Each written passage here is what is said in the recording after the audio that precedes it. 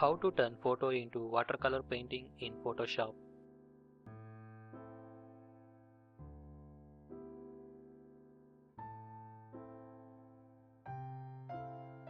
Welcome to PS Desire Photoshop and Photography YouTube channel.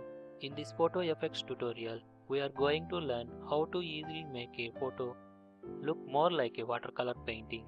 This photo effects works best on images where maintaining rich colors and strong contrast is more important than keeping any fine details. Here is the image I will be using for this tutorial. We need to create 3 copies of the background layer and convert duplicate layers into smart object. We can also use the keyboard shortcut Ctrl plus J 3 times to duplicate the background layer.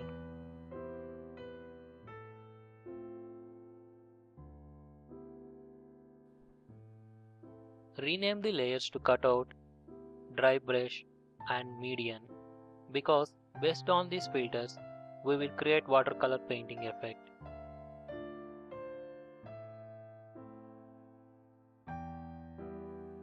Turn off the top two layers.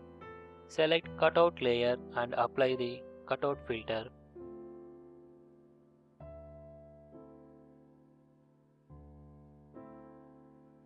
When the cutout filters dialog box appears, set the number of levels to 8, edge simplicity to 0 and edge fidelity to 3. Click OK when you are done to apply the settings. Change the blend mode of cutout layer to luminosity. Now select the dry brush layer and apply the dry brush filter.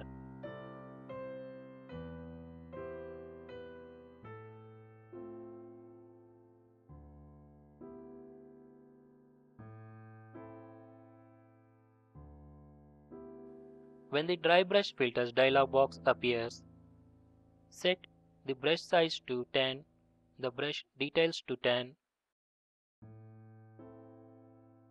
and the texture option to 3.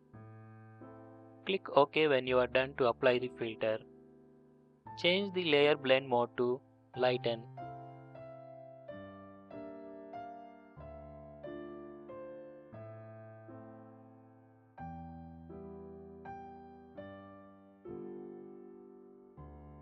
Turn on the top layer and select it and apply the median filter.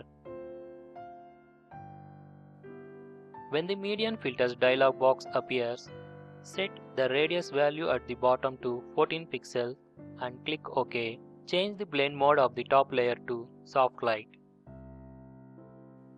Here is my original image and my final watercolor painting effect for comparison. These applied filters are editable so we can change and control individually anytime.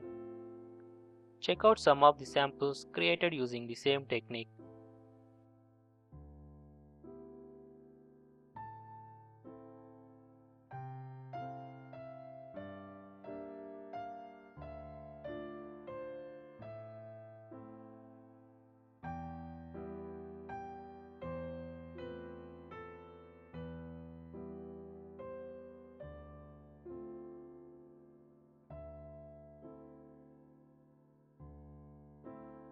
Thanks for watching our free tutorials. If you enjoyed this video, be sure to subscribe to our channel. Post a comment, click thumbs up, like and share to get more videos. See you again in next tutorial.